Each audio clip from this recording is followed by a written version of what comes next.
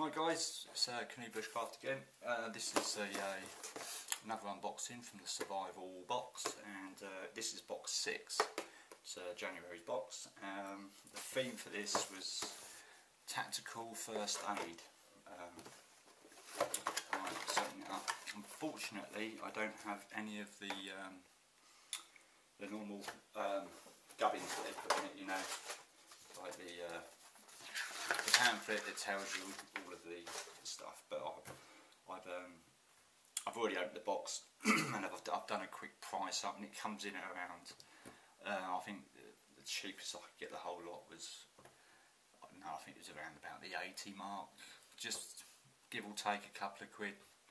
Um, I think it was around yeah, 78 to maybe 82 sort of quid. That's without posting, obviously, where I was just going direct to the, you know, like Lifesystems and stuff like that. So, yeah, anyway. So it's tactical first aid. Okay.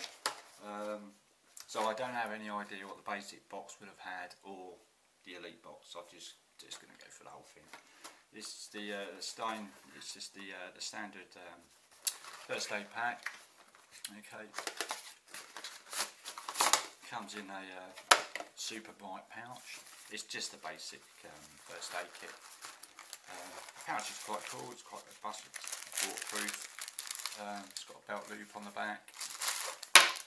And you get a, you know, you get the basic items. You've got a wound and dressing, a bit of um, sterilised water. There's some steri strips in there, some plasters, antiseptic wipes. It's yeah, you've got the norm, the normal kind of gear in here. So like I say, it's just the standard. You can always um, Google that. You'll see it on um, on their website. Um, yeah, I can't tell you the exact price how much this came in at now. I think it was about a ten or something like that. I can't remember. But overall, what's in the box is around eighty quid. Say, okay. So yeah. So we've got that in the box, which is you know pretty cool. Um, must have for where I live. This is a uh, tick remover card, but it also does um, like um, bee stings, splinters, you know, thorns and stuff. You've got this little part of it here to use. This is for the smaller things like small ticks and so on. That side of the card, you've got like a times three magnifier in the middle, and obviously for your larger, your larger ticks there. And, uh, I mean, this thing could just be slipped in your wallet. You know, it's just uh, it's been a your debit, credit card, or what have you. And uh, let's get that crap off of there. Okay, yeah. I do have a couple of these kicking about, the little red strip ones, but that's quite cool. That's some lifesaver. Um, also, you get the um, this is like an open chest wound dressing. You get two of those inside. Um, it's by Foxhill, and the best thing I can say, because it's just Google it or YouTube it. There's plenty on YouTube that actually show you what these look like. I don't want to open it because it's all sterile. But um, yeah, the, the, they're not cheap. These things. They're quite uh, they're good quality ones. So one of those. Uh, these are quite cool, and it's the SWAT T it's the Lifecycle First Aid device, it's a tourniquet. It's like a, a, massive elastic band type thing. Like I say, YouTube, there's loads on YouTube. There's people you actually um, yeah, demonstrating it on um, the United Kingdom Survival Network. You, um, yeah, go on there, there's a chap there, he does a video on it, and uh, he shows you, yeah, in depth on how to use it. But pack a bit of kit. Hopefully I'll never have to use it. And there's full instructions on the back on how to use it. Um, yeah, and this is the Celox A. Um, once again, hopefully I'll never have to use this either, but it's nice to have it. These aren't cheap, by the way. They've got to be at least 20 quid plus. Um, it's basically like a massive great big syringe and this is filled with obviously Celox which is like a powder form and it's basically for open punches. So if you you know if you had a deep open puncture a knife went in or what have you the idea is obviously you'd clean the wound and this there's like a, a rubber stopper on the end. You pull that off because obviously it's 100% sterile. Um, and you then poke probably about I don't know an inch of this into the actual puncher which sounds a bit dodgy right and then you pump into the powder it, it aids clotting and it fills up the puncher, then you probably apply dressing and maybe even a tourniquet if you had to put that much pressure on it because you have to put pressure on it after you put this in there anyway. Um, but there's full instructions on the back and like I say YouTube it, there's people actually doing this on meat if you like um, just to demonstrate what it's like or a um, sort of artificial arm but um, yeah YouTube it, it's um, it's all on there.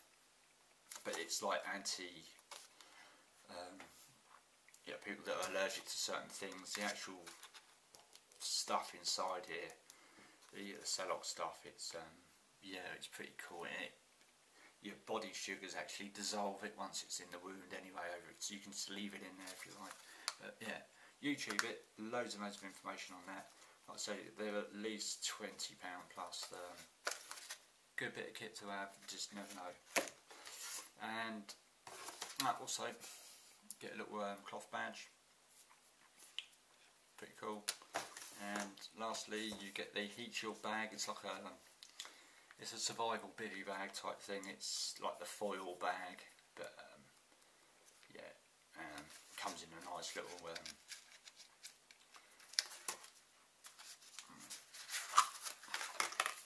nice little sack Obviously it's never going to look like this once you take it out of there. but the sack's big enough to get it back in. It's reusable um, and it's highly recommended. Lots of people um, I've known when I did me when I was into my MLTB sort of stuff, mountain leadership. Um, yeah, like I say, um, I mean the company itself they specialise in all sorts of um, equipment like this and they have been used and they do work and you know the emergency services wouldn't turn their nose up at this sort of stuff. It's a it's a thermal blanket. A bit like the uh, the cheap and cheerful emergency ones. You get in the little packets. But obviously they've upped it and uh, it's nice bright orange.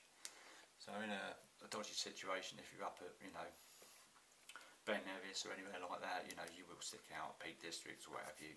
And you just climb in it and um, and wait for rescue but there's loads of information actually on the bag and all the rest of it. So yeah pretty cool. And like I say that's the pack size is um, as it is now you know you can lose it in your hands mate. It's uh, it's cool. It's pretty light. But, um, it's just a shame that I don't have the skill to be able to wrap that back up. So I'm not going to pull it out because it's uh, yeah I'm going to stick this in one of my BOV bags. So bulk bags I should say. Um, which I'll be doing a video soon as well so this was um, Surviveall box number six and the theme was tactical first aid and it rolled in at around about 8 quid's worth of kit which is pretty cool so there we go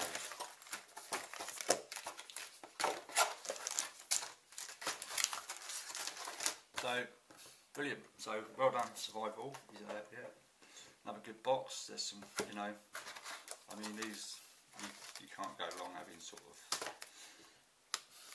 yeah, this good stuff. And there's bags of room in here. You can fill this up if you want to, to use the bag. It's quite a cushy little bag. So um, yeah, pleased with that. So thanks a lot. Cheerio, and I'll catch you later on another one.